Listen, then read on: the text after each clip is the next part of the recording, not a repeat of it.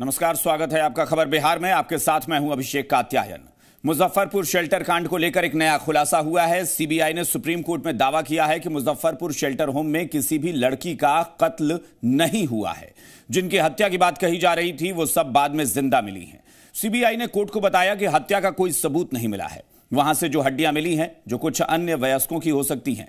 CBI जाँच में साफ़ हो गया है कि मुजफ्फरपुर शेल्टर होम में किसी भी नाबालिग की हत्या नहीं की गई है। लेकिन अब भी कई सवाल बचे हुए हैं।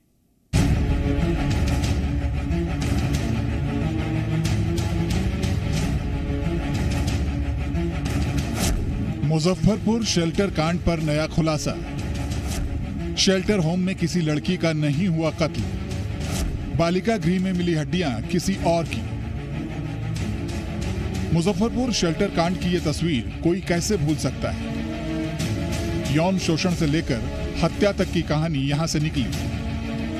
लेकिन आज एक कहानी पर पूर्ण विराम लग गया। जी हाँ। सीबीआई ने सुप्रीम कोर्ट के सामने खुलासा किया है कि मुजफ्फरपुर के इस शेल्टर होम में किसी भी नाबालिग का कत्ल नहीं हुआ।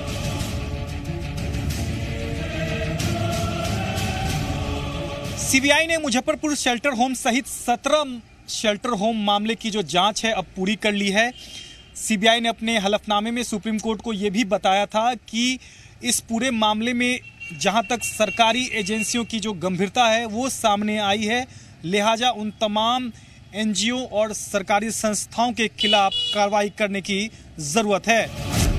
मुजफ्फरपुर शेल्टर होम केस में सीबीआई ने अपनी रिपोर्ट दाखिल कर दी। है रिपोर्ट में सीबीआई का दावा है, किसी लड़की की हत्या शेल्टर होम में नहीं हुई। जो कंकाल और हड्डियाँ मिली वो किन्हीं और बालिग लोगों की थी।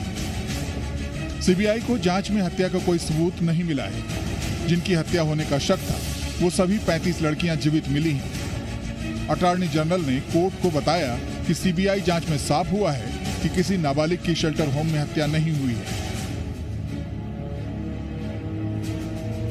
शेल्टर होम मामले में सुप्रीम कोर्ट ने सीबीआई के उस हलफनामे को स्वीकार कर लिया है, जिसमें सीबीआई ने कहा था कि मुजफ्फरपुर शेल्टर होम मामले में हत्या की पुष्टि नहीं हुई है। सीबीआई ने यह भी कहा था कि जिन 35 लड़कियों की हत्या की बात कही गई है, दरअसल वो जीवित है। सीबीआई की इस जाँच रिपोर्ट से साफ़ हो गया है, मुजफ्फरपुर के शेल्टर होम में किसी भी युवती की हत्या नहीं हुई। तो क्या इस रिपोर्ट से मुख्य आरोपी ब्रजेश ठाकुर को राहत मिली है। या फिर कहानी में अभी भी कई ट्विस्ट है। सुमित, जी मीडिया, दिल्ली। मुजफ्फरपुर शेल्टर कांड पर सीबीआई ने चौंकाने वाला खुलासा किया है। सीबीआई ने इस बात से इनकार किया है कि शेल्टर होम से गायब हुई 35 लड़कियों में से किसी भी लड़की की वहाँ हत्या हुई थी। मुजफ्फरपुर शेल्टर होम मामले में सीबीआई की चौंकाने वाली इस रिपोर्ट के बाद सवाल ये खड़े होने लगे हैं कि आखिर शेल्टर होम कैंपस से खुदाई के दौरान मिली हड्डियाँ किसकी थी? क्या उसके लिए अब अलग से जाँच होगी? मुजफ्फरपुर शेल्टर कांड पर चौंकाने वाला खुलासा। सभी लड़कियाँ जीवित, फिर हड्डियाँ किसकी? क्या अब बालिग के कत्ल की होगी जाँच?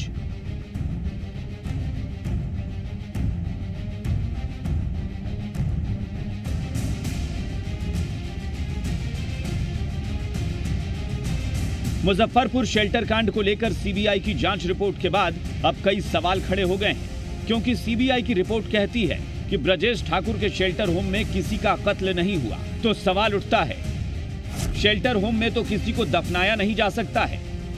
तो फिर क्या किसी की हत्या करके उसे शेल्टर होम में दफना दिया गया? क्या सबूत छिपाने के लिए शेल्टर होम में शव दफनाया गया? शेल्टर होम में ही मुख्य आरोपी ब्रजेश ठाकुर का घर है। तो फिर ब्रजेश ठाकुर को इस कंकाल के बारे में जानकारी कैसे नहीं है? और एक सवाल यह भी कि क्या जो कंकाल मिला था, उसकी हत्या की भी जाँच अब नए सिरे से शुरू होगी? क्योंकि उसके बारे में भी तो मालूम चलना चाहिए कि वो कंकाल किसका था। मुजफ्फरपुर शेल्टर होम को लेकर के सीबीआई ने जो रिपोर्ट सुप्रीम कोर्ट में दाखिल की है, उसमें किसी की हत्या की बात नहीं की गई है, यानी किसी की हत्या नहीं हुई। अब सवाल ये उठता है कि ब्रजेश ठाकुर द्वारा संचालित बालिका गृह में आखिर नरकंकाल किसके थे? माननीय सर्वोच्च न्यायालय में जो सीबीआई ने हलफनामा दायर किया है। कल भी सीबीआई ने जो हलफनामा दिया था, उसमें 25 डीएम स्तर के अधिकारी, इकहत्तर और सरकारी अधिकारी, कर्मचारी, इन लोगों की संलिप्तता बताई थी। और आज वो कह रही है कि वहाँ जो नरकंकाल मिले थे, कोई हत्या नहीं हुई है।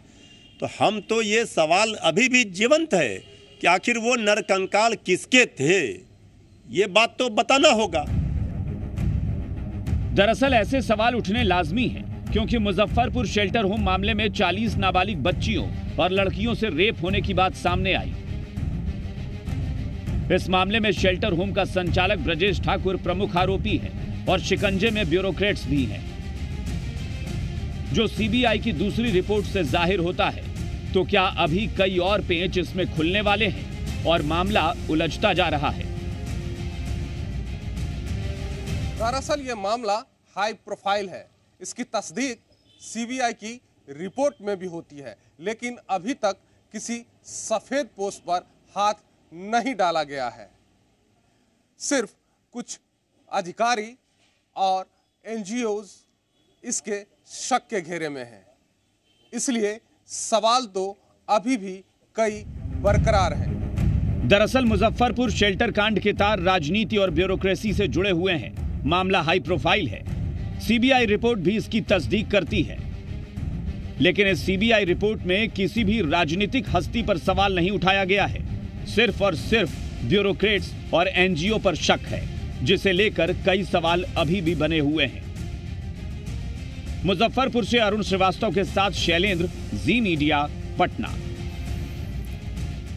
बिहार में कानून व्यवस्था को चुनौती देते हुए अपराधी बेखौफ होकर वारदात को अंजाम दे रहे हैं। ताज़ा मामला मुजफ्फरपुर का है, जहाँ अपराधियों ने घर में घुसकर रिटायर्ड अधिकारी और उनकी पत्नी की गोली मारकर हत्या कर दी। डबल मर्डर की इस घटना के बाद इलाके में सनसनी फैल गई है। डबल मर्डर की इस खबर से पुलिस विभाग में भी हड़कंप मच गया है। फ़िलहाल पुलिस मामले की जाँच में जुटी है। हालाँकि अभी तक साफ़ नहीं हुआ है कि दंपति की हत्या क्यों की गई है।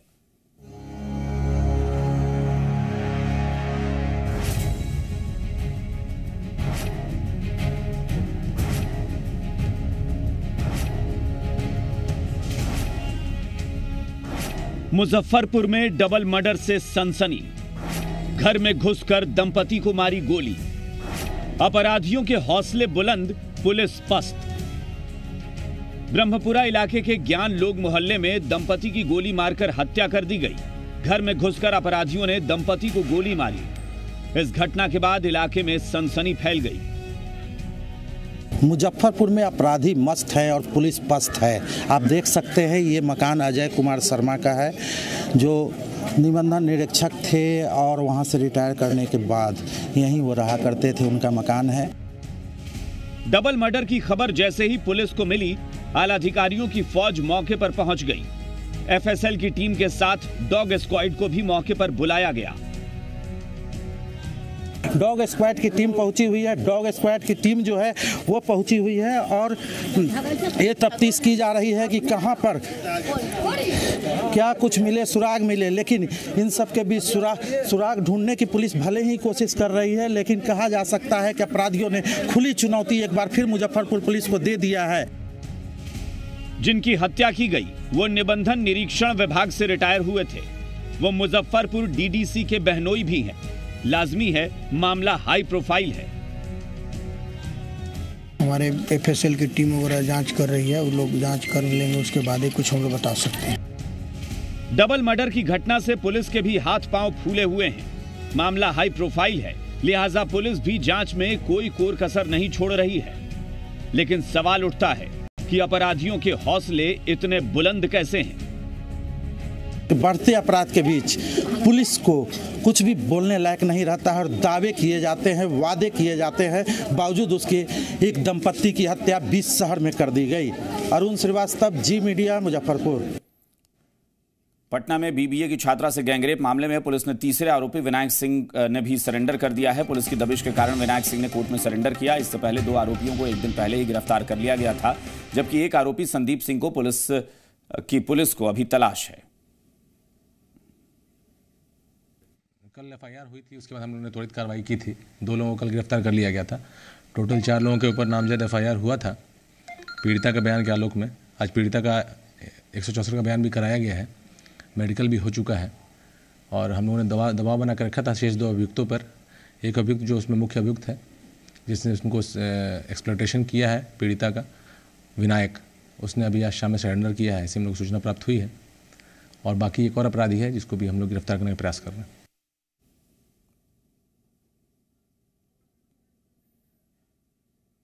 दो अलग अलग तस्वीरें हम आपको दिखा रहे हैं कि इस घटना में दो चीज़ें जो देखने में आई हैं। एक तो ये कि जो आरोपी हैं, इन्होंने शराब पार्टी की थी। इस वारदात को अंजाम देने से पहले शराब पार्टी का वीडियो जो है वो वायरल हो रहा है। तीन आरोपी गिरफ़्तार हो चुके हैं। वहीं एक चौथा आरोपी जो है वो अभी पुलिस की गिरफ्त से बाहर है। पुलिस उसके लिए दबिश दे रही है अलग अलग जगहों पर।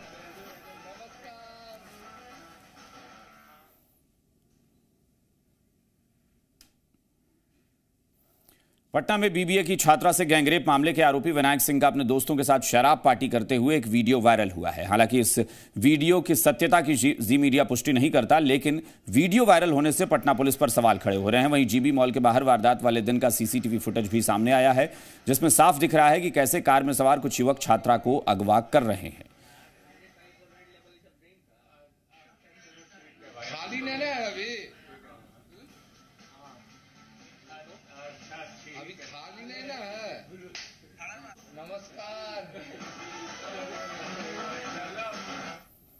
नीरज कुमार के साथ अशोक चौधरी ने भी लालू प्रसाद यादव पर निशाना साधा है। ट्विटर पर उन्होंने लिखा है कि नहीं बनने देंगे मुख्यमंत्री आवास को, अपराधियों का दरबार। इसलिए बिहार को 2020 में फिर से चाहिए नीतीश कुमार। बिहार सरकार में मंत्री हैं अशोक चौधरी।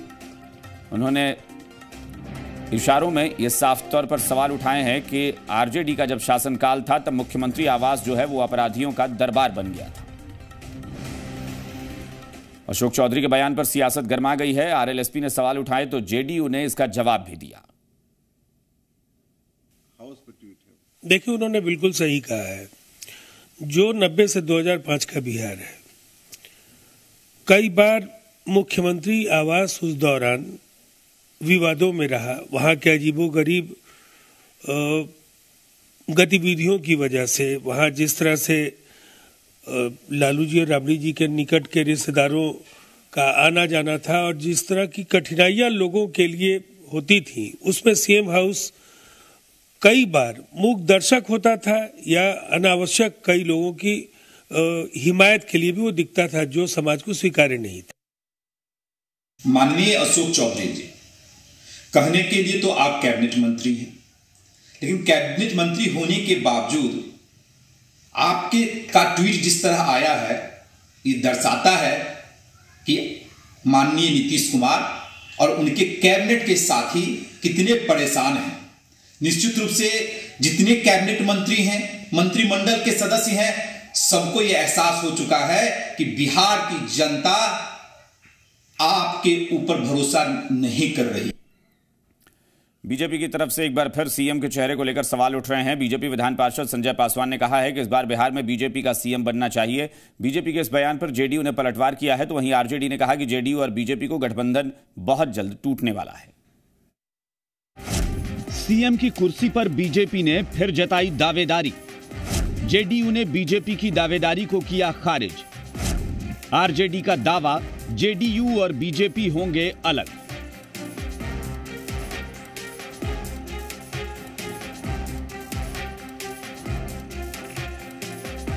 चुनावी साल है और चुनावी साल में भी बीजेपी और जेडीयू के बीच खींचतान जारी है। सवाल सीएम की दावेदारी को लेकर है। एक बार फिर से बीजेपी ने सीएम की कुर्सी पर दावेदारी जताई है। लेकिन इस दावेदारी को जेडीयू ने खारिज कर दिया है। बिहार की लेकिन लालसा है। ये लालसा बिहार की है। अभिलाषा बिहार की है कि बिहार में एक बार फुल फ्लेज मुख्यमंत्री बिहार बीजेपी का हो। तो पता नहीं किस दुनिया में संजय पासवान जी जीते हैं, इसका उत्तर तो वही दे पाएँगे। या तो अपने राष्ट्रीय अध्यक्ष को चिढ़ाने का काम कर रहे हैं, या अपनी पार्टी कार्यकर्ताओं को डायलेमा में रखना चाहते हैं, यह तो वही बताएँगे। इतना तय है कि भारतीय जनता पार्टी जेडीयू के साथ मिलकर के चुनाव लड़ेगी इसका एक बार नहीं दो दो बार देश के गृह मंत्री और भाजपा के राष्ट्रीय अध्यक्ष आदरणीय अमित शाह जी ने ऐलान कर दिया है। ये बात सच है कि बीजेपी अध्यक्ष कह चुके हैं कि बिहार में नीतीश कुमार की अगुवाई में एनडीए चुनाव लड़ेगा और चेहरा भी नीतीश कुमार ही होंगे। फिर ऐसा क्या हो जाता है कि बीजेपी नेता अपने अध्यक्ष की बात को खारिज करते रहते हैं? विपक्ष की माने तो दरअसल बिहार में जेडीयू और बीजेपी के संबंध पर अब विराम लगने की घड़ी आ गई है। अब ये जनता समझ नहीं पा रही है कि सत्ता का मलाई मिल के खा रहे हैं, लेकिन एक दूसरे का दोनों विरोध कर रहे हैं। अगर नीतीश कुमार जी के चेहरे पर अगर नहीं लड़ना है तो संजय पासवान जी इंतज़ार क्या कर रहे हैं? वो नाव डूबना तय है एनडीए का। तो ये लोगों का 2020 में एनडीए फिनिश, ये हम लोगों का नारा है। बीजेपी, जेडीयू के बीच जिस तरह से बयान आ रहे हैं, उससे न सिर्फ़ राजनीतिक गलियारे में बल्कि आम लोगों के बीच भी गठबंधन के स्वरूप को लेकर संशय है। कई मुद्दों पर जेडीयू के अंदर ही किचकिच है, जिसे लेकर स्थिति असहज बनी हुई है। रजनीश, जी मीडिया, पटना। कहते हैं, चुनावी साल में नेताजी की बोली नरम हो जाती है, पब्लिक किसी काम के लिए कहती है तो साहब ऐसे पेश आते हैं जैसे वश में रहता तो फ़ौरन कर देते। ना भी कर पाए तो बोलकर पेट ज़रूर भर देते हैं, लेकिन बिहार में हो रहा है इसका उल्टा। चुनाव सामने है और विधायक जी पब्लिक से सीधे मुँह बात तक नहीं कर रहे।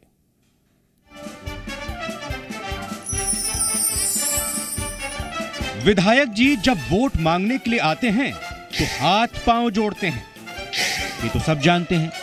लेकिन क्या आप जानते हैं कि आप जब विधायक जी के पास काम मांगने के लिए जाएँ तो आप भी हाथ पाँव जोड़ें।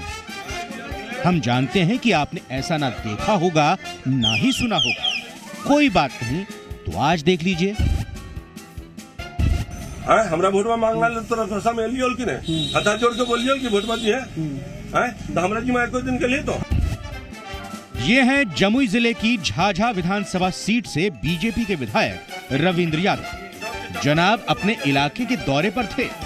कुछ युवकों ने गाँव में सड़क नहीं बनने की सूचना दी। बस, विधायक जी, आग बबूला हो गए एमएलए साहब को पब्लिक का अंदाज पसंद नहीं आया।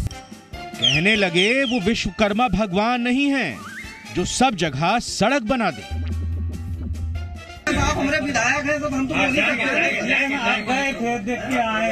शांति से बात करिए। शांति से ही बोल रहे हैं सर। कहाँ तो अनुशासनहीनता नहीं कीजिए मेरे साथ कहाँ तो धीरे आवाज़ में बोलिए। जिस तरह से हम बोल रहे हैं। ऐसा तो हम विश्वकर्मा महाराज ने कि हम जीत के गए थे सब रोड बनाइए देंगे विधायक जी पब्लिक के बीच में थे तो पावर दिखाने का तो सवाल ही नहीं था। लिहाजा अंग्रेज़ी का सहारा लिया। अब बिहार और अंग्रेज़ी का कनेक्शन तो जानते ही है ना। ग्रामीणों ने भी दो टू कह दिया कि अंग्रेज़ी नहीं जनाब हिंदी में बोलिए। और मेरा अधिकार है I will I will I will I will try my नहीं सर इंग्लिश नहीं समझते हिंदी बोलिए हम लोग को। तो सुन लिया बिहार के झाझा के एमएलए साहब को। जनता के वोट से माननीय बने घूम रहे हैं लेकिन इन्हें पसंद नहीं कि पब्लिक इनसे सवाल करे। विधायक जी, अभी भी वक्त है। सचेत हो जाइए, संभल जाइए। ये हम नहीं, जनता का तेवर कह रहा है।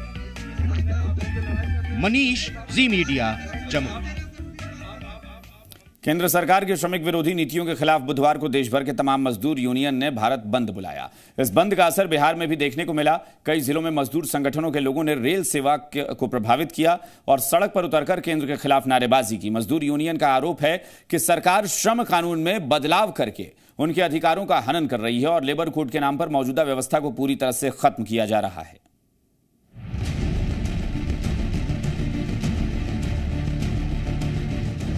श्रमिक विरोधी नीतियों के विरोध में भारत बंद।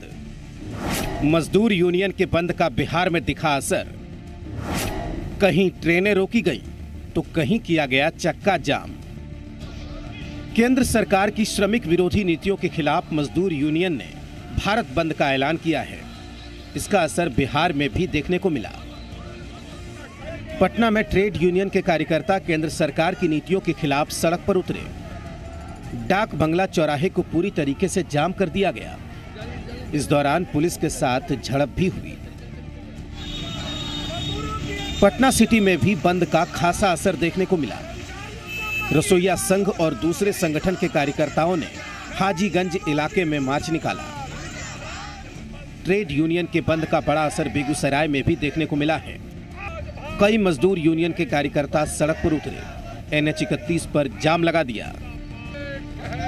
हमारा मांग है मजदूर विरोधी जो कानून, पूंजीपति प्रस्त जो इनका प्रस्तावित कानून है, लाया गया है, उसके खिलाफ बेरोजगारी, महँगाई, भ्रष्टाचार, निजीकरण, इन सब बातों को जोड़ते हुए आज भारत बंद है।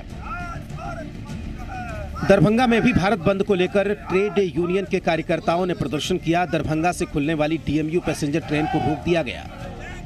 और केंद्र सरकार के खिलाफ नारेबाजी की। ट्रेन के रोके जाने से रेल यात्रियों को परेशानी का सामना करना पड़ा। मधुबनी में भी भारत बंद को लेकर प्रदर्शन हुआ। रेल लाइन पर प्रदर्शनकारियों ने जाम लगा दिया।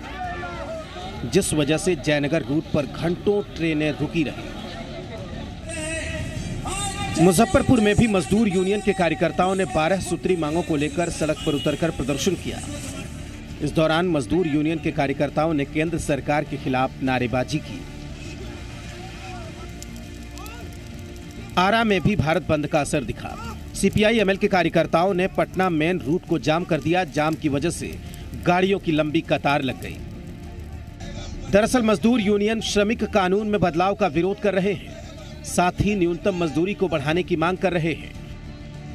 और इन्हीं मांगों को लेकर भारत बंद को बुलाया गया है। Bureau report, Zee media. इन्हीं खबरों के साथ इस बुलेटिन में फ़िलहाल इतना ही। आपको बता दें कि बिहार झारखंड से जुड़ी ताज़ा तरीन खबरों के लिए आप लॉगिन कर सकते हैं हमारी वेबसाइट पर डब्ल्यू